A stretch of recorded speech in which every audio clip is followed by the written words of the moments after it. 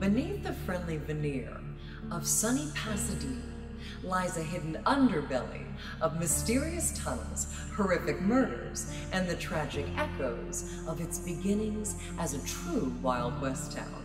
From bone chilling race riots to a bridge that became famous for suicides, Pasadena has a tormented history filled with terror, and the souls doomed to haunt its historic streets are ready to tell their stories.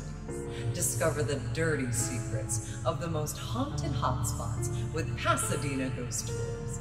Uncover the terrible tale of the sculptor pushed from his balcony by unseen hands and learn why ghosts are still getting their kicks on Route 66. Tours are held nightly.